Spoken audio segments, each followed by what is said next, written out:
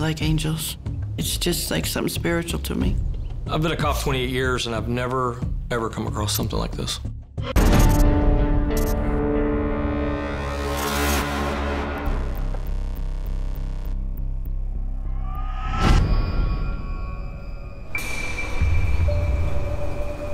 I felt like they disrespected my parents.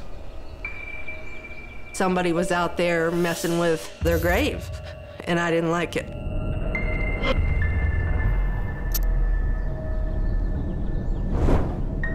Just going into the cemetery, taking stuff off people's graves is just really creepy. I mean, it's just, it's bad. Deborah Farinella loves angels. She's been collecting them for years, picking them up wherever she can find them. I go to garage sales, I go to a store, I'll go to a thrift store, I'll go wherever. It has to be certain angels, like pretty ones. But Deborah doesn't just buy them, she steals them from her local cemetery.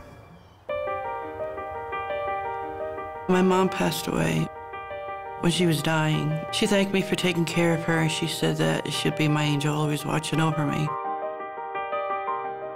I bought an angel and put it on the shelf in memory of my mother. It just caught my eye, and I just started collecting them. It's just like something spiritual to me. Over time, Deborah's love of angels builds into an obsession. I was so bad with them, if I went to a friend's house and they had an angel or a fairy, I would ask if I could buy it from them.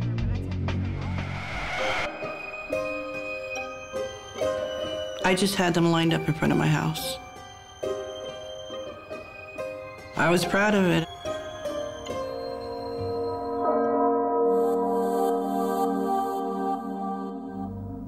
It's gonna be okay, Daddy. In 2012, Deborah's father becomes seriously ill and moves in with her. Deborah surrounds him with angels from her collection.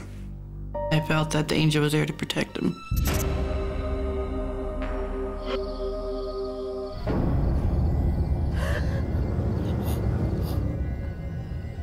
Deborah's father dies.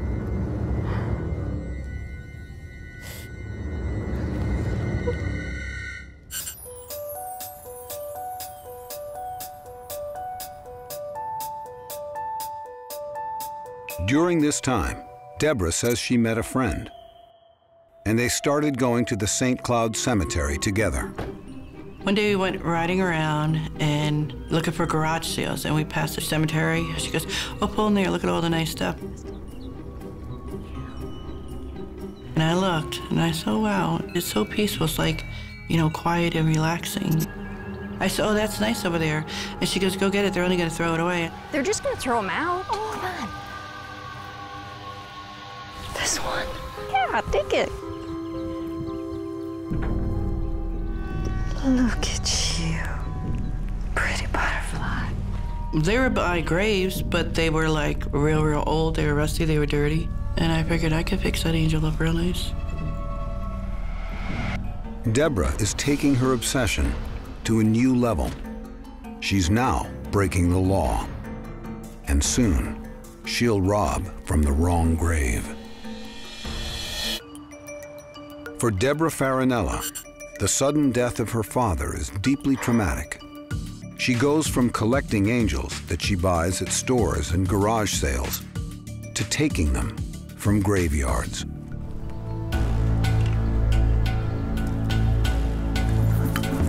I don't know.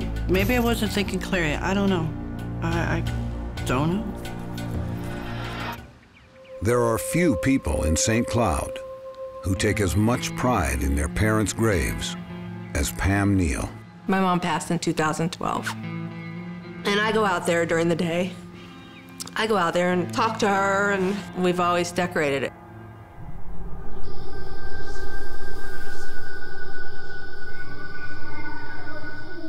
In April 2013, Pam starts to notice things missing from her parents' grave. I went out there on her birthday and noticed that some of the solar lights that I had just purchased were gone. Pam's husband is a detective with the St. Cloud Police Department. It was personal items that really nobody else would want or really need. So that's what made it creepy about the whole thing. Hey, Terry, it's Pam.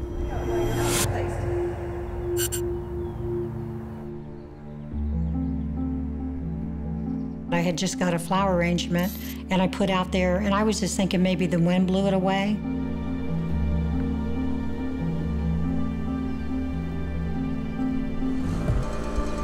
I noticed somebody pulling in behind me rather fast, got my attention.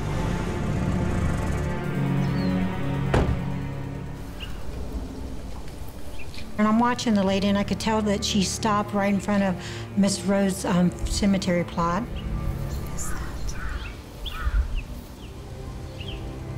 I thought, oh my God, this has got to be the lady that's been stealing stuff from the cemetery.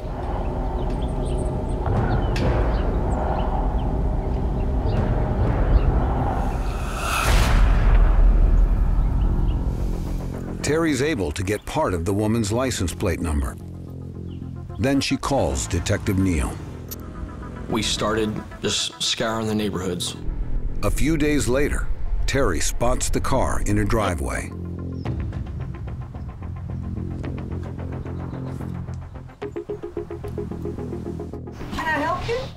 That's when I yelled at her and said, I'd like you to explain where you got these. I recognize this flower.